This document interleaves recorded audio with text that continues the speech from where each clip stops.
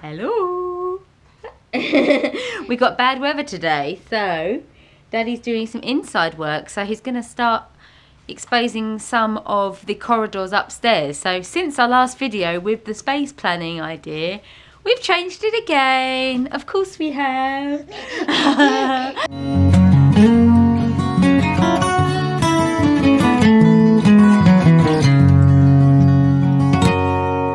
so it's going to match corridors are going to match upstairs and downstairs.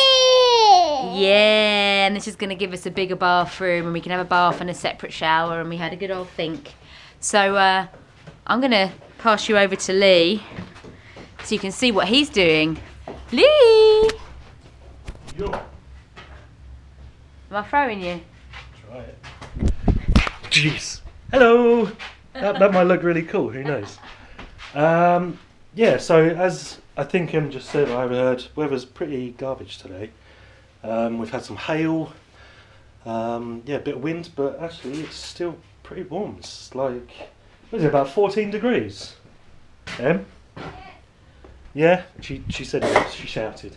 Um, so what I've actually done up here is I'll just turn you around. We've got this door here, which we removed and put there, just as a um, temporary door. And we had this door here, which probably can't see it, but it's the one down in the corner. Um, again, as another temporary door. So that was really cool. Um, we've changed our plans since well, two days ago when we made a video, I think it was.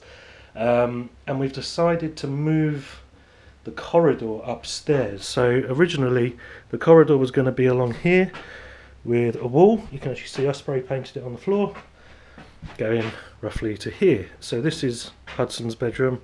This would have been a corridor. This would have been uh, where our stairs come up over this side. And this area here uh, would have gone into our bedroom. There's going to be a door here eventually. And a small kind of, uh, I don't know, I suppose it could be a little cupboard. It could be, um, it's pretty big. It's about one, two, three, four, probably about six square meters. So it could be a dressing room, a little cupboard for linen, that kind of thing. Um, but now what we've decided to do is keep the stairs in the same place. So I'll be coming up here from downstairs and I'm actually making a hole through the wall. Um, it's quite knackering, I'm not to lie.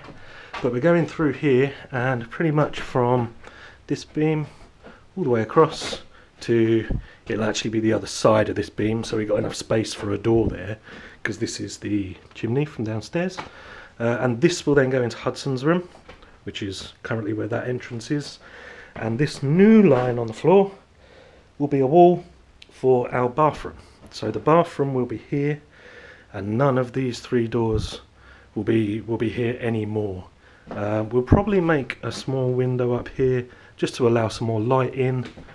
And we'll put the door along this wall in line with this window so we'll actually be getting light through there as well. So we should have enough light in the bathroom I hope um, yeah we can always fix that with with special lighting and, and things like that. Um, but we'll obviously have a flue going out for evaporation. Um, yeah it should be really good. Um, I'm sweating. Not really sure what else to say so I'll stop it here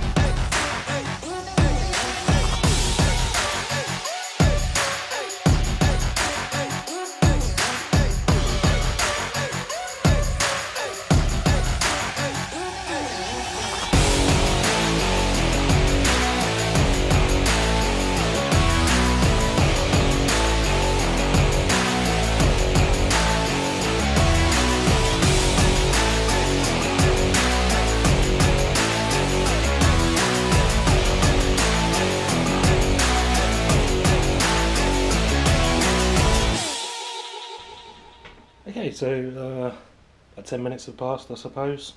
Um, just see what I'm doing. Yeah, there we go. Um, so one thing that you need to consider uh, with the old houses like this, the bricks do absolutely nothing. um, apart from on the front of the house where we have uh, two layers of bricks. So it will be more this kind of thickness. Uh, the walls internally are just this thickness here. Um, the, the, the wooden frame is actually what's holding the house together. So uh, basically the easiest way for people just to fill that gap in was either with mud bricks, um, old tiles I've seen people use. We've got these handmade bricks which are absolutely awesome. Um, each one is totally different, but I'm hoping that we can reuse them somewhere else, maybe for a, maybe for a floor, maybe in the lobby, something like that. So I'm saving all of the, the whole pieces there. We lost some half breaks here, but most of it is rubble if I'm honest. Um, just trying to think of a tip that I could add for this one. Ah, actually, this little tool here is uh, it's it's uh, for removing moss and grass and things like that in between pavers. Um, I think it was about 50p. Really, really good for removing cob in between bricks. So get yourself one of those. Um, don't do what I do. Wear glasses. Definitely wear a dust mask, and uh, wear gloves.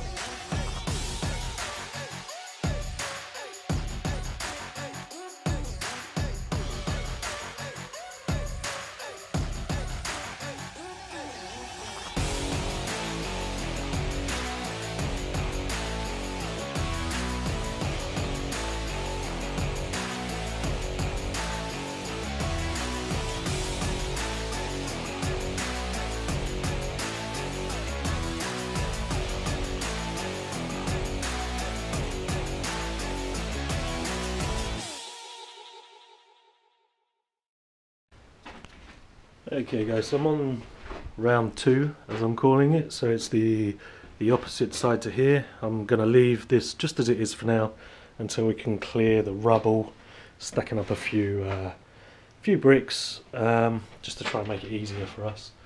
Um, and what I've noticed is because on this side this is actually the chimney stack, we don't have, well we do have enough space, uh, but this will actually be a very thin door um, or at least door opening. Um, so what I'm going to have to do is I'm going to have to come over this way, approximately you know 30 centimeters, 12 inches, uh, top to bottom. I'm going to have to remove the bricks. I'm going to have to support it, and then I'm going to have to remove this beam. Um, just to give us enough space. So it's a little bit more work than I was expecting. Um, I was hoping that it would be kind of in line with this side, but it's not. Um, I think because of that chimney stack. So yeah, fun and games.